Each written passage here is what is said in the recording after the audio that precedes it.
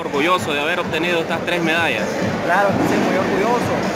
Trabajo duro, esfuerzo, sacrificio, dedicación a todo esto. No fue fácil. ¿Cuánto tiempo tenés de estar entrenando? Ya llevo cinco años de estar en pesa, los cuales no ha sido fácil, lesiones, por eso no tienes que dejar de entrenar. Este año que tuve, tuve varias lesiones, fue duro seguir entrenando con las lesiones y todo, soportar dolores, soportar todo. ¿Aspirabas a más, a, una medalla más importante, quizás oro, no? No, ahorita no, pero creo que próximamente sí, vienen buenos días por delante.